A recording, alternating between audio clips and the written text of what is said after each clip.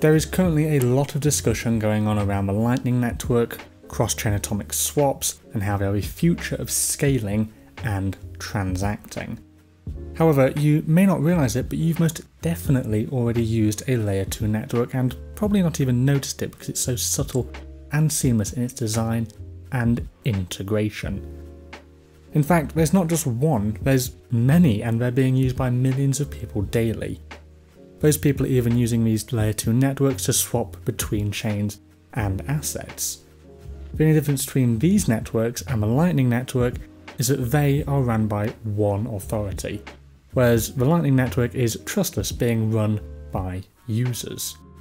If you haven't figured it out yet, I am referring to exchanges and services such as Coinbase and Bitstamp to name but a few. It may not be obvious, but it's true, and I think it's a good comparison to bring up, so the idea of layer 2 networks are easier to understand. Let me show you. Lucy signs up to an exchange and purchases one Litecoin using some Bitcoin she has. She then decides to send half of it to her friend Alex, who also uses that exchange. It is a pretty simple chain of events from a user's point of view, except it's what's actually happening below the surface that's far more interesting. So let's break it down. Lucy sends her Bitcoin to the exchange using a unique deposit address that they give her.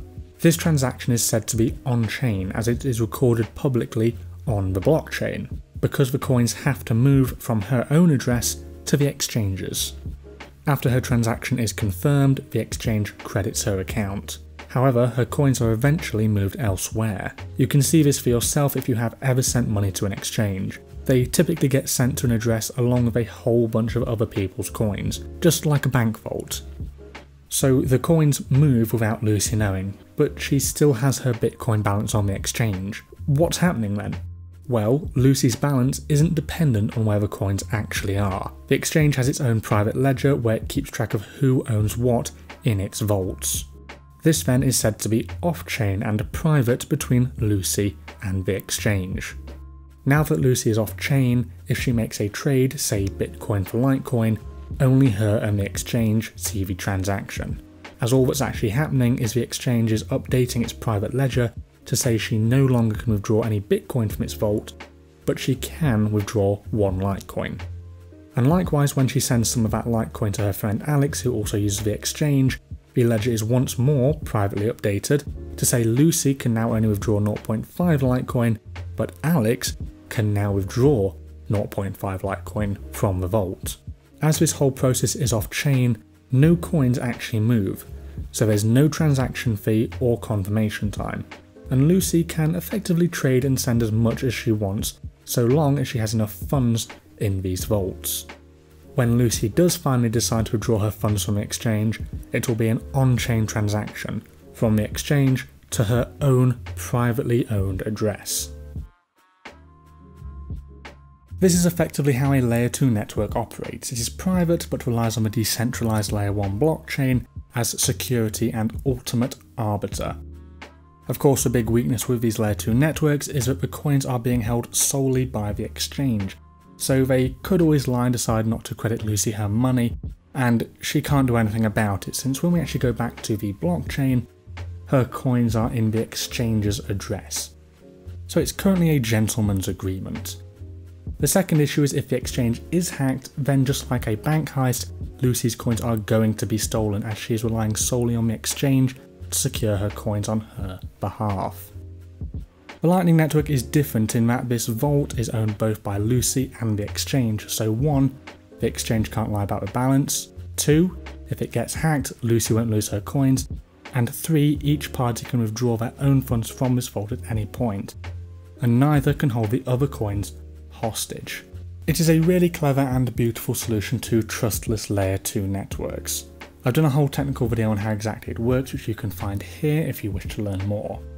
However, I wanted to talk about it in this way because I think it is more approachable and provides a greater insight into how the network will be used in the future. I know a few people had trouble understanding the technical video, so hopefully this provides a basic jumping off point. I think in the long term we will mostly be using layer 2 to transact and trade, but not necessarily on the Lightning Network. Most new users tend to keep their funds in exchanges and crypto services as it's easier for them. Most of these services even have phone apps, insurance policies, and undoubtedly can offer a safer place to store coins than on a layman's computer.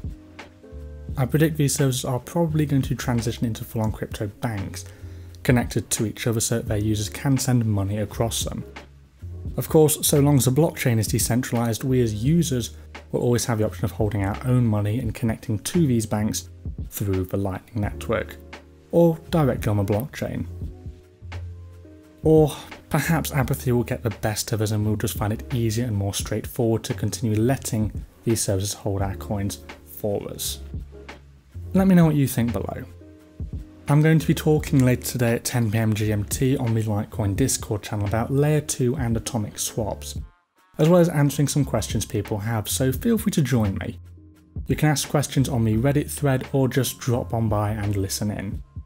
I will be recording and putting up here if all goes well, so don't worry if you can't make it. And, as always, until next time.